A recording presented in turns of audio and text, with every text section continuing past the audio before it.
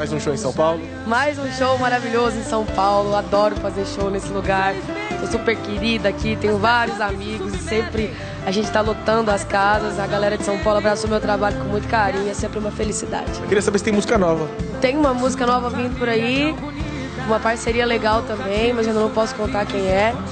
Mas é sofrência pesada. A galera tá esperando sofrência, vai ter sofrência pesada para vocês, viu, gente? Tá chegando.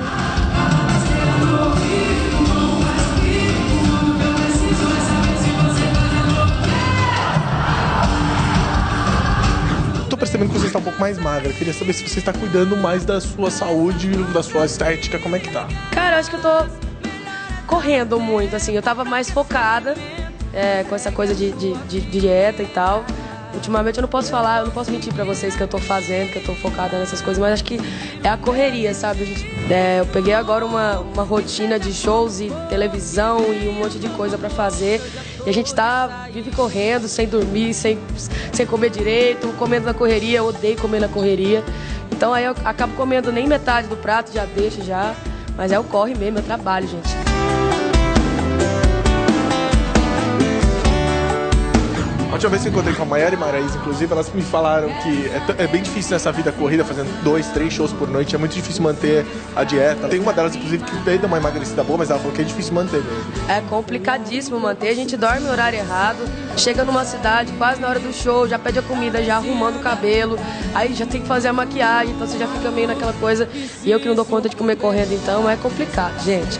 Negócio de dieta estrada, porque a gente não tem rotina. Dieta é rotina, né? Infelizmente, não dá. Quase morri quando te vi entrando no motel.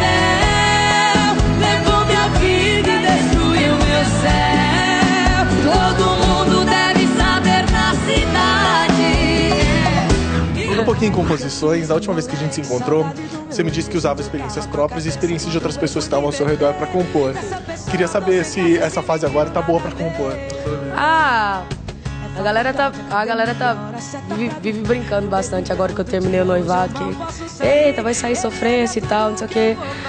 Assim, eu não tô no momento de sofrimento da minha vida, é, porque ele não foi um cara que me fez mal, sabe? Ele, ele, ele me fez muito bem enquanto a gente viveu junto, a gente não terminou mal, então é, ele, não, ele não despertou essa sofrência em mim, como as outras pessoas que fizeram maldades na minha vida. Ele não, ele não fez maldade na minha vida.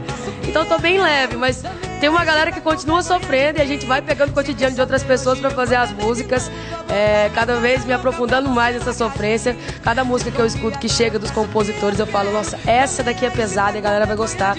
Inclusive essa nova que tá vindo aí, que eu não posso contar.